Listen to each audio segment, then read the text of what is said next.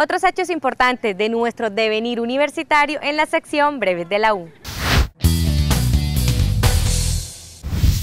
La Universidad Francisco de Paula Santander Ocaña se permite invitar a las personas interesadas en participar como ponentes en el primer Congreso Internacional y Nacional Innovación en Gestión que se desarrollará del 22 al 26 de octubre de 2012. La participación como ponente no tiene ningún costo de inscripción y todos los trabajos quedarán publicados en las memorias del mismo en el sitio web.